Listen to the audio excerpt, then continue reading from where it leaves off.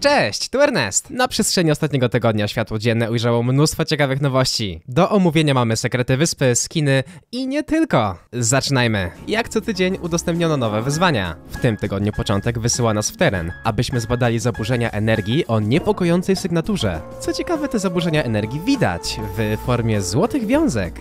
Przypominają one wiązki energii generowane przez machiny zagłady z drugiego sezonu rozdziału drugiego. Wtedy mogliśmy na nią spojrzeć w podziemnej bazie agentów, kiedy była w trakcie ładowania. Myślę, że to już pewne. Pod zalewem zdobyczy jest konstruowana nowa machina zagłady, która zbiera energię potrzebną do pełnej aktywacji. W sezonie drugim rozdziału drugiego event z machiną zagłady był chaotycznym łańcuchem wydarzeń, który zakończył się zalaniem całej wyspy. Możliwe, że w tym sezonie będzie podobnie i każdy zakątek wyspy poczuje event. Tylko co tym razem? Dobre pytanie. Na kiedy indziej. Mam dla Was jeszcze kilka innych ciekawostek. Dalej w temacie wyzwań to stworzenia z gatunku klombo dały kolejną oznakę życia. Na wyspie można teraz znaleźć więcej usypanych klombo śpiochów. Za odwiedzenie trzech takich miejsc otrzymujemy 10 koła expa. Ale to nie wszystko. Wystrzelcie się kichnięciem, które działa jak gejzery trzech różnych śpiących klombo, aby otrzymać kolejne 10 tysięcy punktów doświadczenia. Tak teraz pomyślałem, że to może tego sezonowy event z machiną zagłady dopiero je w pełni przebudzi, a ich powrót jest planowany na start trzeciego sezonu. Poza tym Fortnite przygotował kolejny darmowy przedmiot, tym razem dla graczy na arenach. Za zdobycie piątej dywizji lub wyższej do naszej szafki trafi niezłe malowanie z odznaku dywizji, którą udało nam się wbić. Czas na zagwarantowanie sobie tej nagrody mamy do końca sezonu. To nie wszystko, co twórcy gry przyszykowali dla nas na start nowego sezonu. Hypex zauważył, że w plikach gry zaktualizowano kulę jazdy. Zaszło kilka niewielkich zmian w działaniu kotwiczki oraz dodano funkcję, która usuwa balony z gracza po wejściu do kulojazdu. Ponadto Hypex wcześniej doszukał się wzmianki o nowej, drugiej wersji kulojazdów, które miałyby 400 punktów wytrzymałości. Hypex podejrzewa, że Fortnite planuje współpracę z filmem Jurassic World Dominion, jako iż będzie miał premierę tydzień po starcie trzeciego sezonu, a same kolojazdy były wzorowane na tych, przedstawionych w filmie Jurassic World z 2015 roku. Wtedy jednak to była taka podróbka bez współpracy. Hypex dodał jeszcze, że twórcy gry wznowili doszlifowywanie systemu ujeżdżania zwierząt. Na ten moment używają do testów wilków, ale od szóstego sezonu rozdziału drugiego idealnym kandydatem do tego były raptory, co tematycznie pasowałoby do Jurassic World. Ja jeszcze liczę na dziki, bo wiecie... Oprócz tego wiemy, że ujeżdżając zwierzęta będzie można otwierać skrzynki, drzwi i tak dalej. Zaktualizowano również bomby cienia. One byłyby przydatne w trybach bez budowania, więc możliwe, że niedługo wrócą. Zmian doczekały się nawet złomoszczeliny. Nie wypadają z nich już toalety, ani policyjne radiowozy. Czyżby też miały wrócić?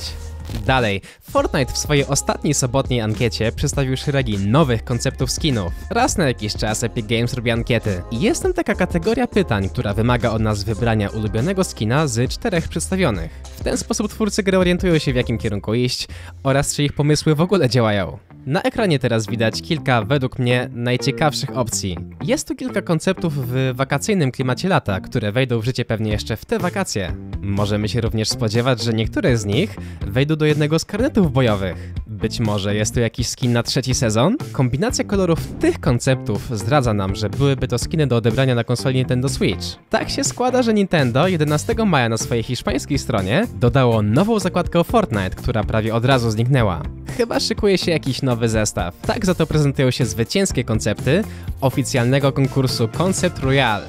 Skin po lewej został stworzony przez Dreo, a ten po prawej przez Kitsu, stwórczynię konceptu złotki, który trafił też do gry. Powinniśmy te kreatury zobaczyć na tegorocznym evencie Koszmarów Czar. Wracając do wycieków, to Egyptian Fortnite Leaker zauważył, że w plikach gry już jest katalog z elementami wyspy na trzeci sezon. Na dzień dzisiejszy znajduje się tam folder z wodospadem. Okej, okay, to wiele nie zdradza, ale krążą teorie, że to machina zagłady zrobi z zalewu zdobyczy nową zatokę zacieków, gdzie pojawiłyby się wodospady. Może tu powstać wir do punktu zerowego? Albo kolejny koralowy kasztel, tylko zamiast ruin po Fortnite'owej Atlantydzie stałaby tu machina zagłady. Poza tym wiemy, że jeszcze w tym sezonie wykrzywione wieże trafił pod skrzydła siódemki, a sterowiec UR nad tą miejscówką zostanie zbity z planszy. Egyptian Fortnite Leaker dał nam również znać, że wartownicy siódemki dalej będą patrolować po wyspie w sezonie trzecim, co prowadzi mnie do wniosku, że wykrzywione zostaną przez nich odbudowane w stylu schronienia siódemki. Z zarysu fabuły komiksów Fortnite Marvel Zero War wiemy, że przez pierwszy tygodnie sezonu trzeciego siódemka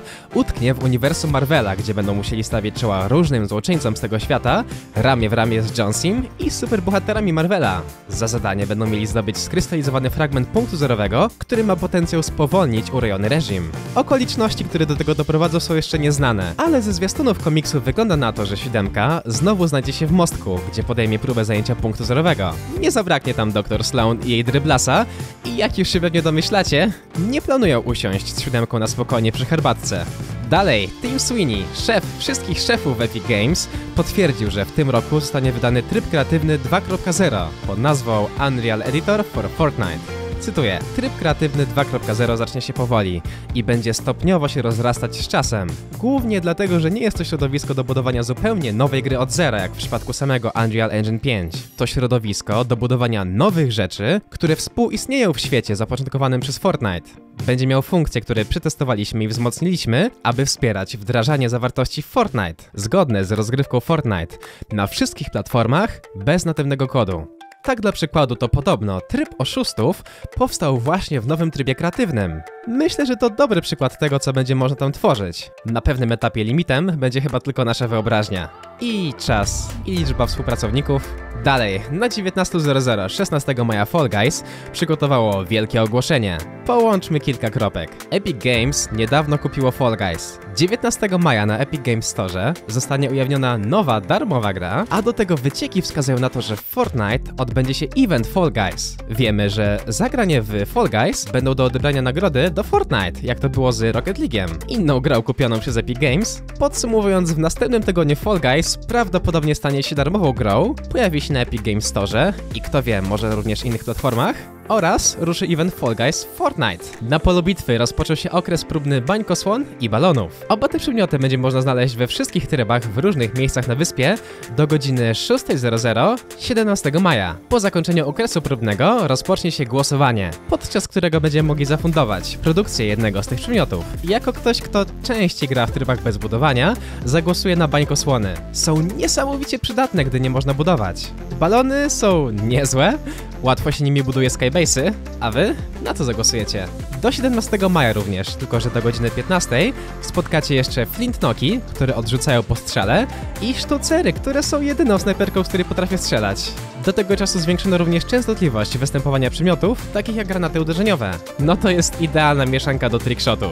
Powróciły jeszcze naloty. Ten przedmiot jednak będzie przynajmniej do końca tego sezonu. I to na razie tyle. Pan Mustard, który stoi za fabułą Fortnite'a, kiedyś napisał, że sezon 8 rozdziału drugiego i dwa po nim to chyba jego ulubione części. Chyba, bo szykuje się coś wielkiego. Tym czymś może być event z machiną zagłady, cały sezon trzeci, komiks Fortnite Marvel Zero War.